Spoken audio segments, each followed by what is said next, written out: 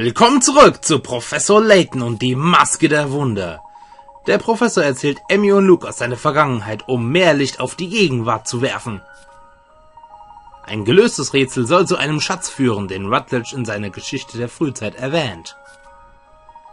Randall bittet Herschel und Angela, mit ihm zur Wand von Norwell zu gehen, damit sie das Geheimnis vor Ort lösen können. Oh ja, außerdem hatten wir im letzten Part noch ähm, in der Gegenwart die Festnahme von Dalston, den wir hier in der Vergangenheit sehen, den Dicken. Bevor wir aber zur Wand von Norwell gehen, müssen wir noch schnell zu Leighton nach Hause, weil da gibt's jetzt noch ein paar Rätselchen, die wir natürlich nicht auslassen werden. Zum einen bei Professor Laytons Vater. Hallo? Oho, Randall und Angela. Guten Abend, Herr Layton.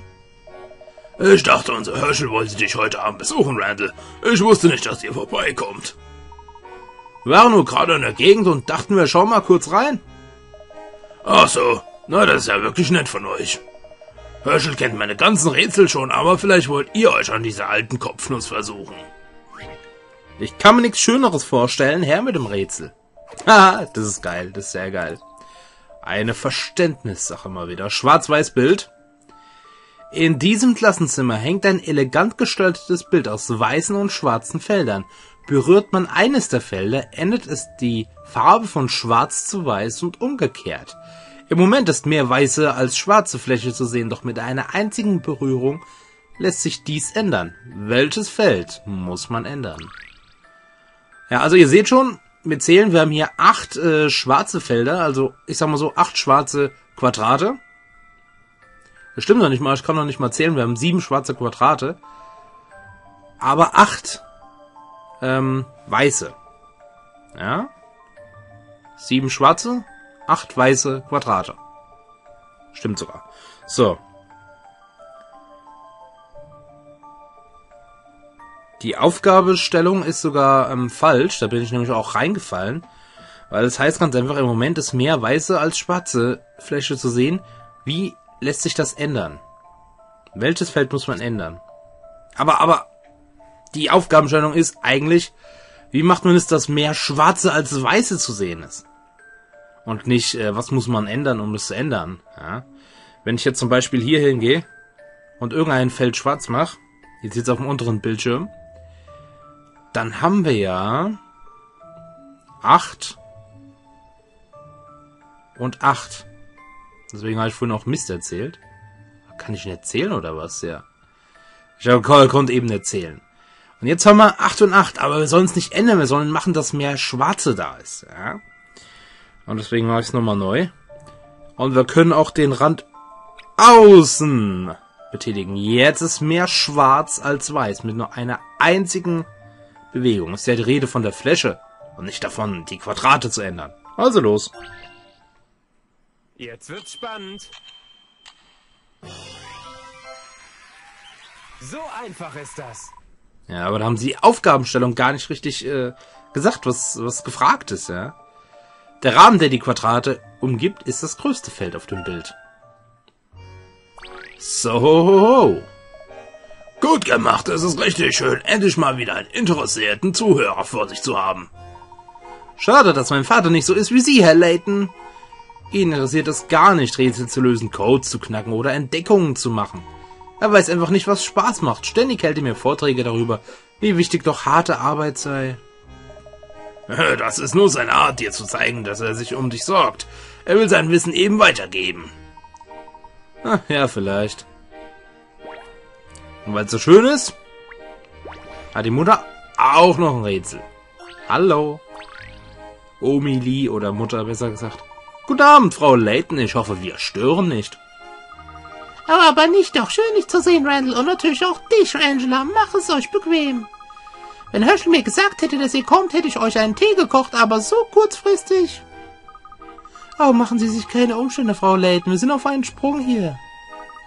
Wollt ihr vielleicht eine Limo oder lieber ein Stück Toast? Ah, ich weiß, ihr wollt sicher ein Rätsel.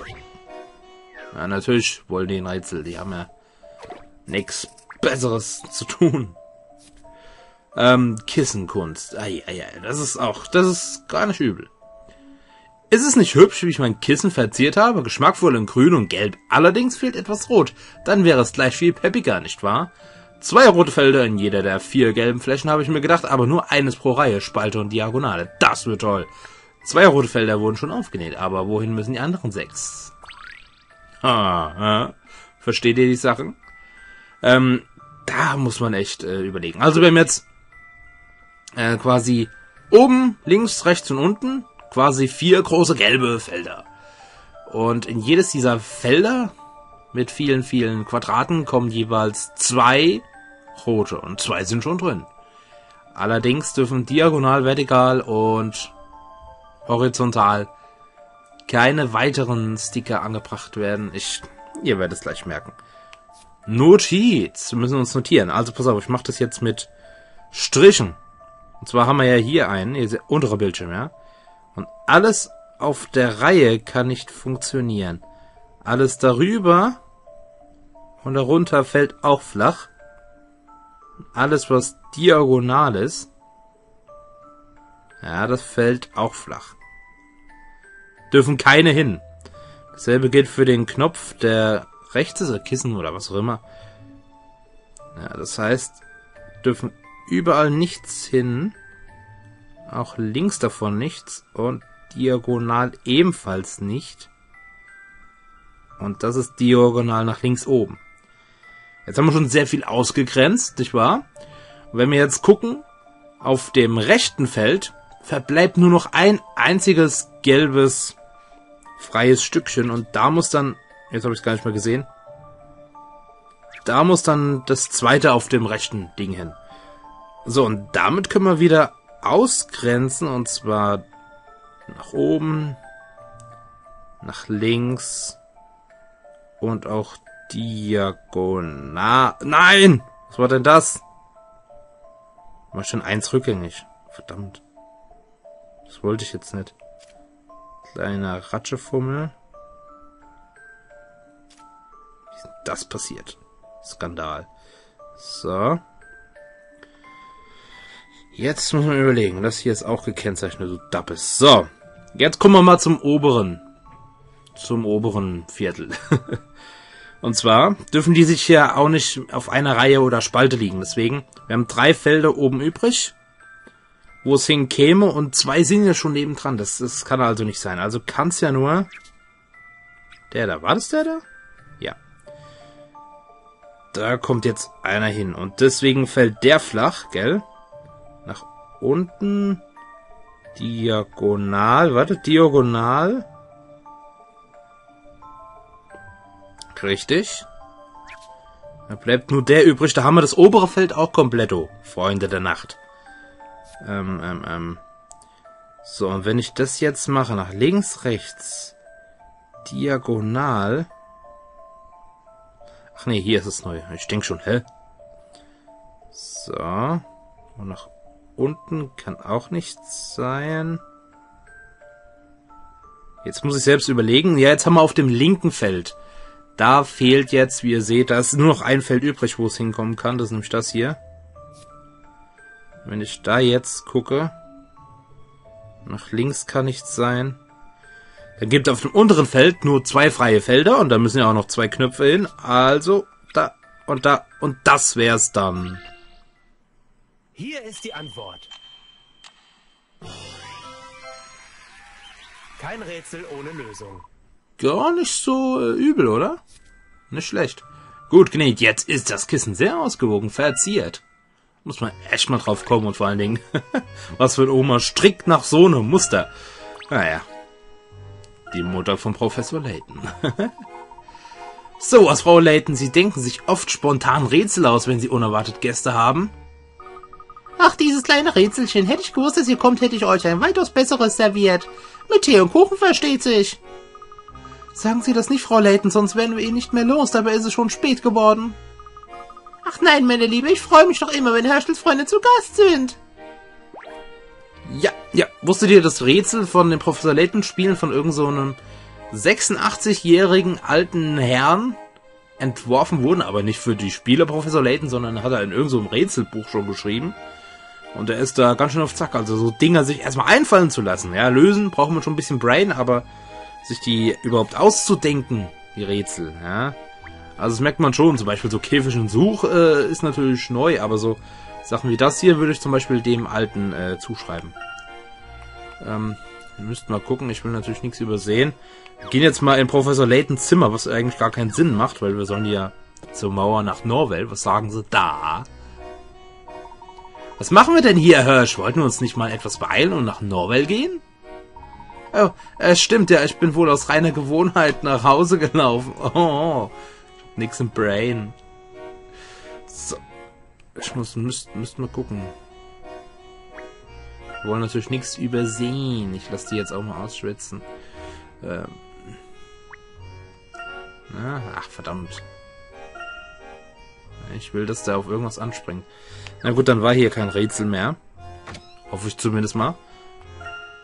Und wir müssen weiter im Text, ja.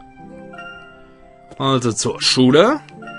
Dann wieder zu Dalton sind wir stehen geblieben. Mit den beiden haben wir schon geredet. Geredet und Rätsel gelöst. Und da haben wir hier Lionel, oder? Das sieht doch aus wie der Messi. Ja? Super. Hallöchen, ist das etwa der kleine Randall? Weiß dein Vater, dass du so spät noch hier draußen unterwegs bist? Oh, wir gehen bald nach Hause, Lionel. Ich wollte kur nur kurz mal Hallo sagen.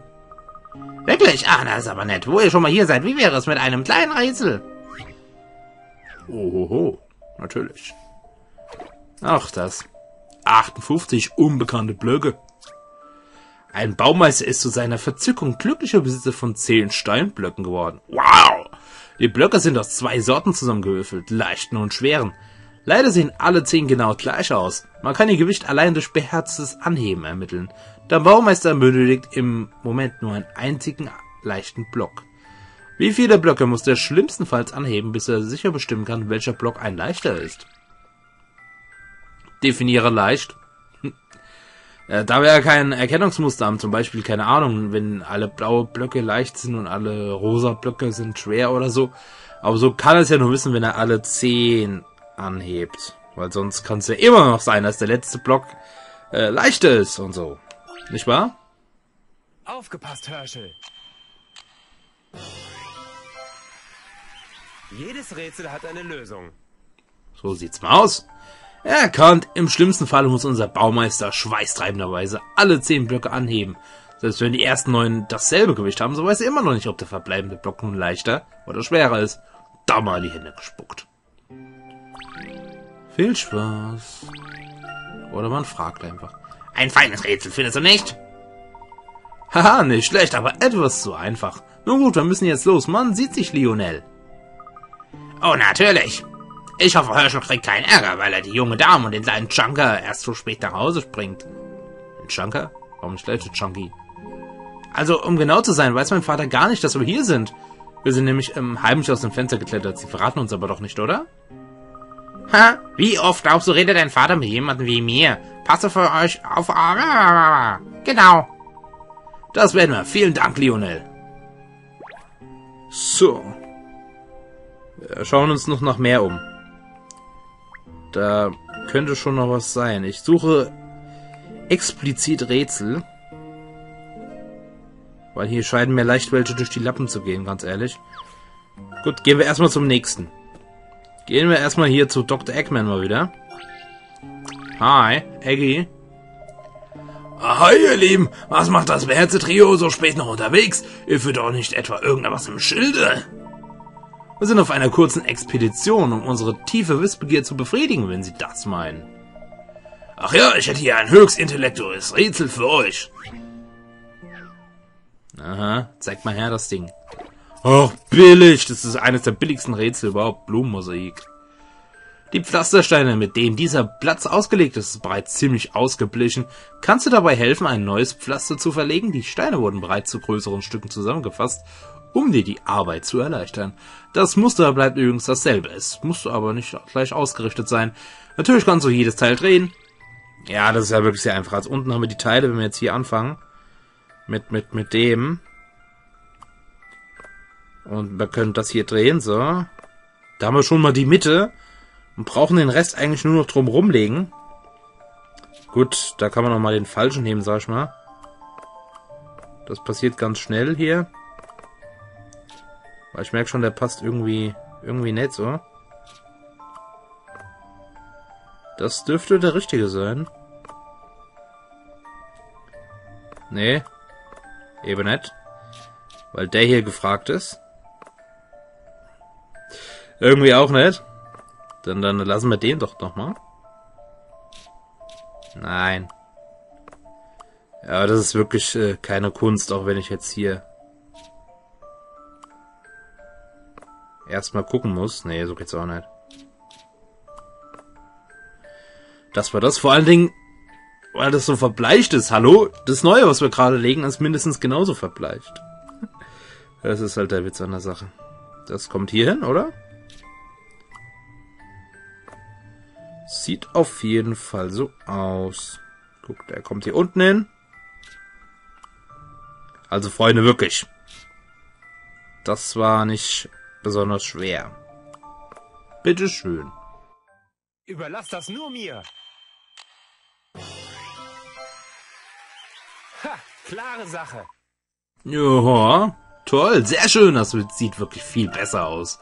Genauso wie eben noch.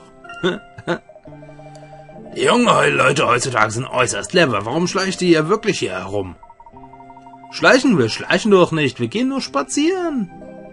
Ha, ihr mischt euch ja nicht. Ihr seid doch sicher ohne die Erlaubnis deines Vaters hier. Habe ich recht? Wie das ganze Dorf weiß. Ja, also, äh, nein, eine Erlaubnis haben wir streng genommen nicht. Sie sagen ihm jedoch nichts, oder? Er macht sich bestimmt nur Sorgen. Zu Recht, Freunde, zu Recht. Ähm, nochmal hier. Hier muss sich etwas befinden. Kuchen. Wie Sie jetzt immer nur an Kuchen denken können. Ist tatsächlich ein Rätsel. Sehr gut. Huch, da hat jemand ein Rätsel zurückgelassen? Falsch, da hat es jemand versteckt, und zwar absichtlich. Das warst du, oder? naja. Hallo. Rätsel 60 Geländesicherung. Bei einer Ausgrabung sind sechs tiefe Gruben entstanden. Das ist ja gefährlich. Nicht außerdem, was passieren könnte, wenn jemand hineinfiele. Du willst mit einem einzigen Seil alle Gruben von A bis F absperren. Es sind bereits etliche Pflöcke vorhanden. Spanne das Seil so, dass es vom blauen bis zum roten Pflock läuft und mit möglichst wenig Seil die Gruben absperrt. Du kannst das Seil jedoch wieder doppelt... Ah. Aha. Weiß ich jetzt gar nicht. Ich, inwiefern absperren?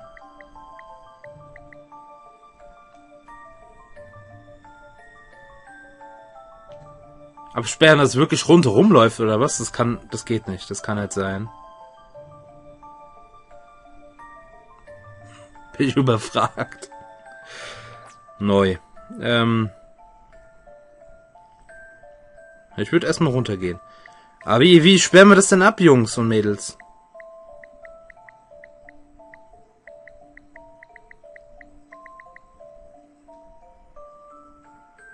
Ja toll, wenn ich jetzt Antwort gebe, verliere ich Pickerrad. Komm.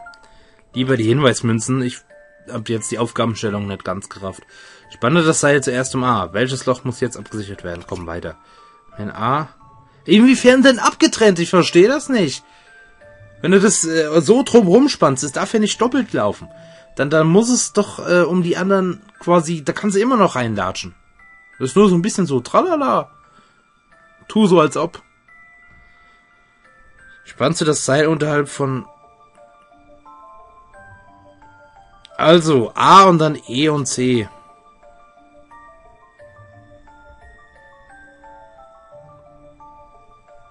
Ja, inwiefern möchte um A einmal rumgehe? Das äh, verstehe wer will. Nächste.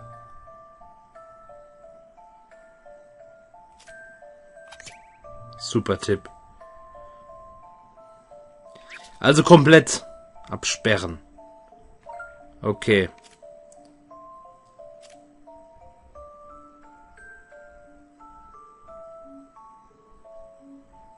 Unterhalb von E und trennst C ab. So meinen die das, ne?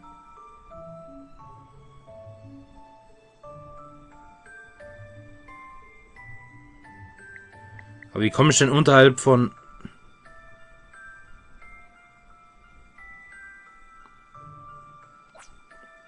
Warte.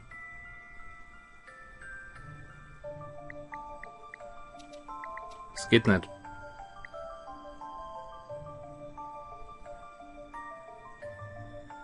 Wie kommt das jetzt zustande? Kann man das einer mal erklären?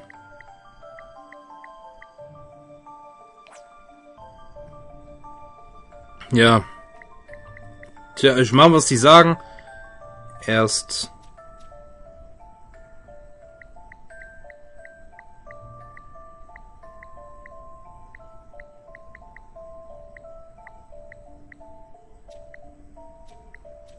Geht ja auch nicht.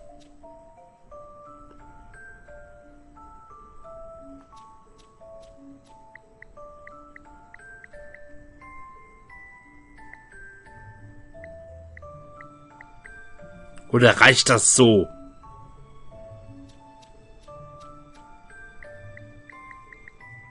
Antwort. Dann mal sehen.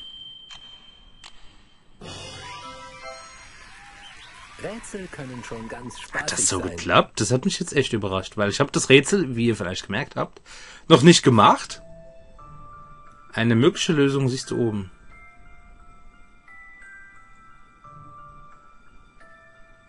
Okay. Ich mag das Rätsel trotzdem nicht. Pfui, pfui. Sehr gut, Herschel. Wenn man die Antwort kennt, ist es ganz einfach. Kannst du bitte aufhören, die ganze Stadt mit Rätseln zu übersehen? Das ist schlecht für die Umwelt. Und für mich? Was? Schlecht für die Umwelt? Gut, komm, wir gehen weiter. Und jetzt kommen wir an Ziel an, nämlich hier. Da waren wir schon mal. So, hier sind wir endlich. In diesem Wald wartet das Objekt unserer heutigen Forschungsreise. Die antike Wand von Norwell. Das wissen wir doch, Randall. Wir leben auch hier, falls es dir entgangen sein sollte. Na komm schon, Randy. Was soll all das Theater? Die Mau kennt doch wirklich jeder hier. Ach, ihr zwei habt einfach keinen Sinn für sowas. Ich versuche nur die richtige Stimmung zu erzeugen, um uns zu motivieren. Also los, und diesmal bitte mit etwas mehr Enthusiasmus. Ich tu mal ganz Enthusiasmus mich die Rätsel hier suchen. Aber wir kommen hier nicht durch. Der Zaun ist zu. Wir haben Pech. Das Tor ist abgesperrt. Das ist so niedrig, dass man drüber springen konnte, aber diese alten Schreber, die können sowas nicht. Die müssen das Schloss knacken. Damit will man vermutlich zwielichtige Typen wie Randy fernhalten. Und jetzt? Nicht verzagen, Randy fragen. Manchmal ist ein Schloss nichts anderes als ein Rätsel, das es zu lösen gilt. Ohoho. Wer wäre denn auf sowas jetzt gekommen? Rätsel 61 Summenschloss. 40 Pickerat. Das Tor ist mit einem schweren Schloss mit beweglichen Zahlen versichert. Ihre Versicherung, ja. Herschel und Randall müssen diese neuen Zahlenkärtchen so anordnen, dass jede horizontale, vertikale und diagonale Dreierreihe dieselbe Summe ergibt. Auf den ersten Blick erscheint die völlig Aufgabe unmöglich. Jedoch sind auf der Rückseite der Kärtchen weitere Zahlen, mit denen du arbeiten kannst. Bewege und drehe das, äh, die Zahlenkarten, um das Schloss zu öffnen. Wir müssen immer auf die Summe 6 kommen. Das heißt, dass wenn wir jetzt zum Beispiel hier 2 haben und hier eine 3 bräuchten wir, ja. Da kommt äh, rechts und links halt die 6 raus, ne? Ihr versteht? Ähm, das stimmt so nicht.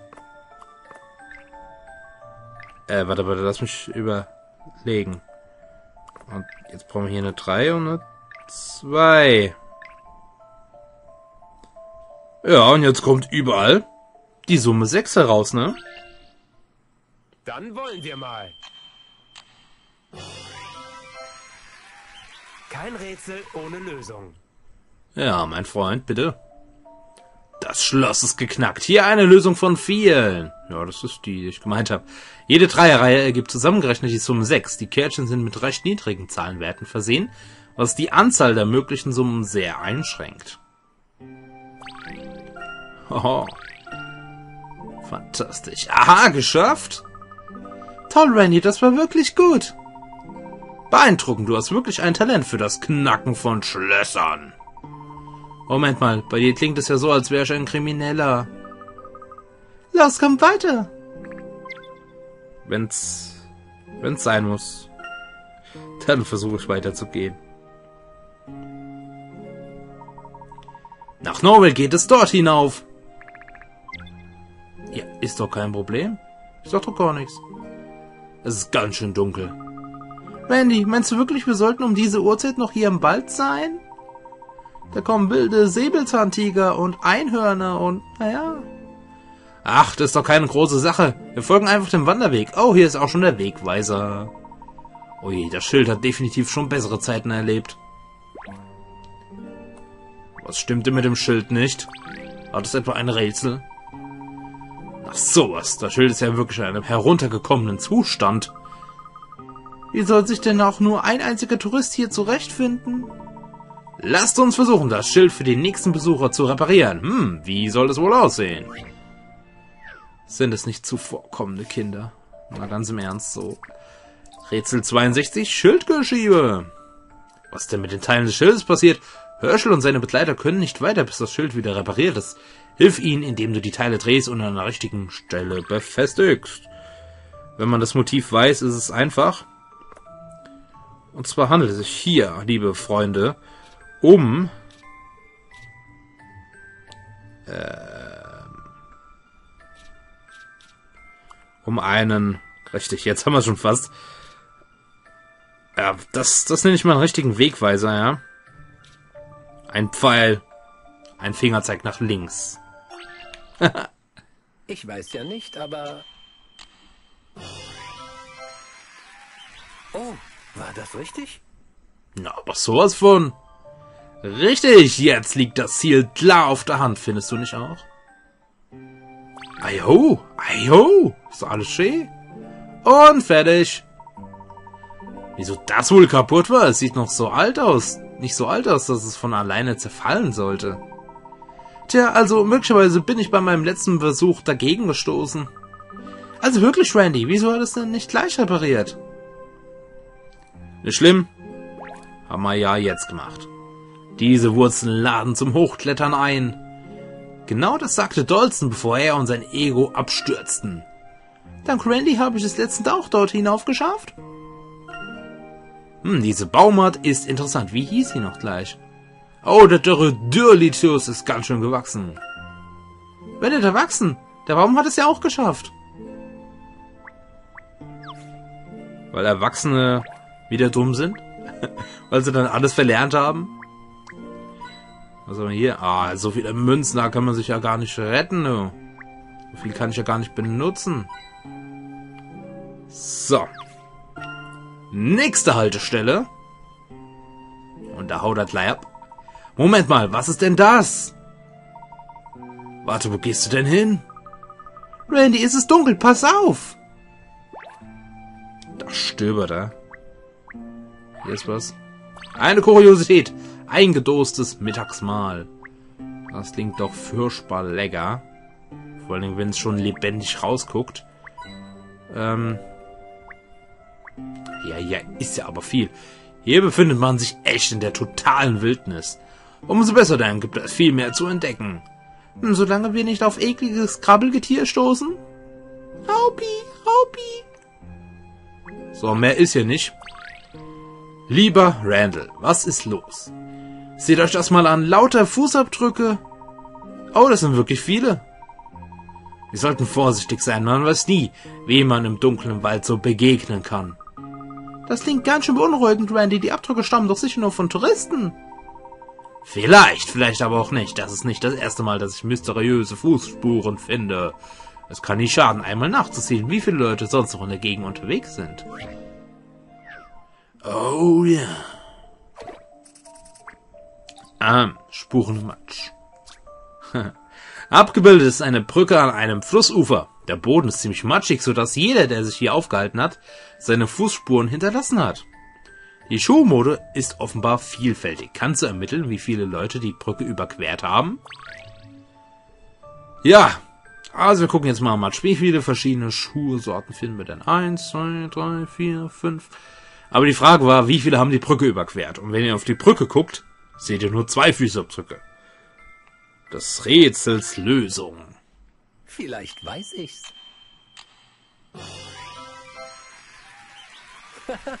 ich hab's wohl gelöst. Läuft ja wie geschmiert heute. Sehr gut. Nur zwei Leute haben die Brücke überquert. Zwar wurden zahlreiche Spuren im Matsch hinterlassen, auf der Brücke jedoch selbst sind nur Fußspuren von zwei Leuten zu sehen. Aha. Trotz deiner fehlenden Leidenschaft bist du ein Naturtalent im Rätsel lösen. Das muss ich wirklich zugeben. Ach, das war nur Glück. Tja, Herschel, wenn du mit Randy unterwegs bist, wirst du das eine oder andere Rätsel nicht herumkommen. Die Welt ist voller Rätsel, die gelöst werden wollen. In diesem Sinne, auf nach Norwell. Ah ja, Kumpel, mach noch mal keinen Stress jetzt.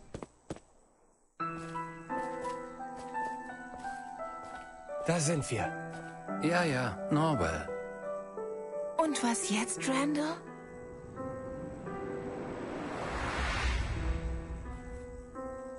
Also, ganz habe ich die Inschrift noch nicht entschlüsselt, aber sie weist auf einen bestimmten Ort hin, das ist sicher. Interessant, oder? Was sagst du? Auf welchen Ort? Genau das ist die Frage. Sag doch mal, Herschel. Magst du Rätsel?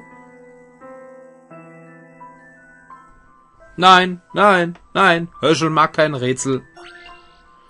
Okay, die Wand von Norwell. Randall, wenn du wirklich recht hast, wäre das ein enorm wichtiger Schritt für die moderne Archäologie. Und dabei ist es so offensichtlich, wenn man es nur einmal gefunden hat. Oh, sieh mal, damit wird es noch klarer. Was ist das? Eine Abschrift eines Teils dieser Symbole. Sieh dir das an, Hirsch. Wo haben wir neulich schon so ein solches Muster gesehen? Hm, es kommt mir bekannt vor.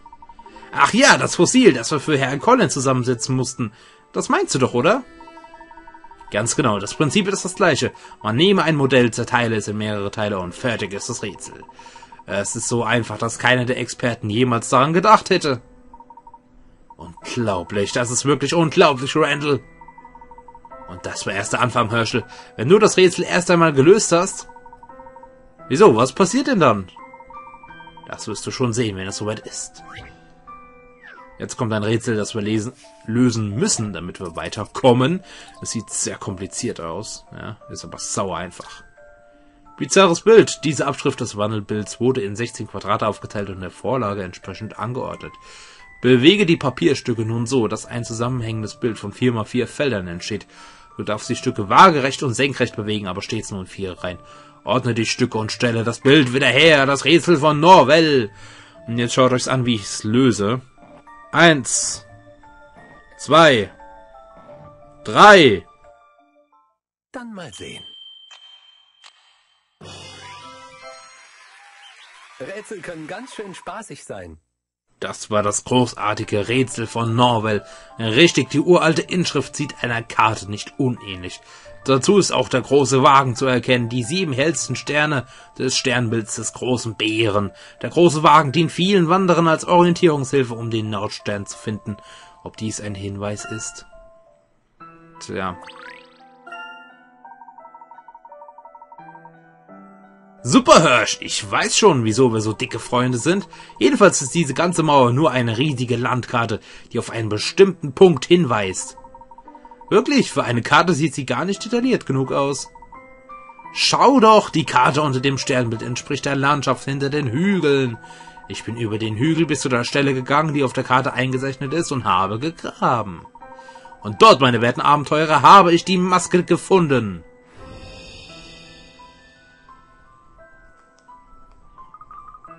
Du hast sie ausgegraben? Bist du alleine in diese unbekannte Gegend gegangen? Ich nehme an, dass du niemandem Bescheid gesagt hast. Das hast du mir doch versprochen, so etwas Gefährliches nicht zu tun. Sei mir bitte nicht böse, Angie. Sieh dir das hier lieber mal an. Was ist das? Ich habe diese Seite aus der Geschichte der Frühzeit von Rutledge kopiert. Das Symbol auf der Maske sieht exakt so aus wie jenes in diesem Buch. Es muss die Maske des Chaos sein.